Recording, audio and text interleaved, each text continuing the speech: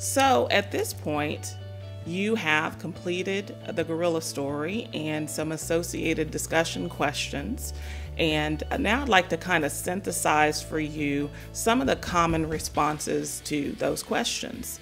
So, to the question of reluctance, many times individuals talk about being new to organizations, not necessarily understanding the rules of the game in an organization, and the consequences of not knowing the rules of those games. And another important point is that there are consequences that people face when they don't know the rules of a culture. Oftentimes, they might feel alienated or isolated. Uh, they may be accused of not respecting the traditions of a particular culture uh, in their desire to innovate.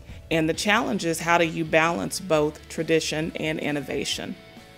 So part of why I like to do this particular story is, is I like to connect it to the work of diversity, particularly as we talk about cultural competence.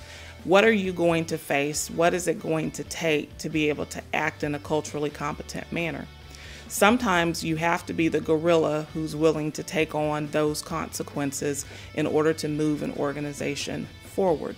So I'm not sure what your responses were to today's exercise, but what I hope is that the exercise has given you an opportunity to reflect on our organization, your role within the organization, and the courage it takes to do the work of cultural competency within the organization.